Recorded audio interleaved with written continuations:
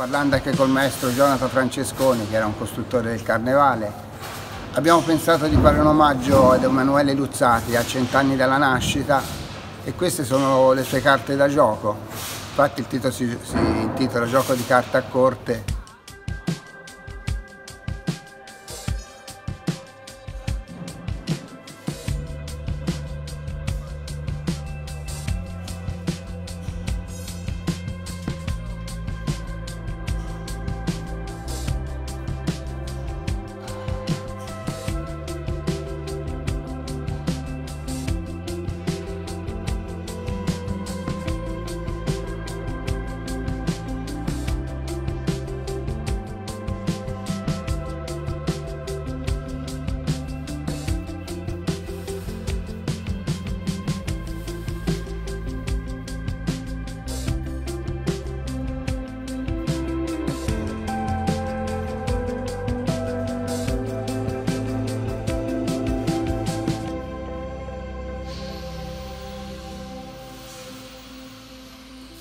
Il carnevale mi ha aiutato a fare dei, dei passi avanti anche con i materiali che ho, sto, che ho, usato anche per le mie sculture.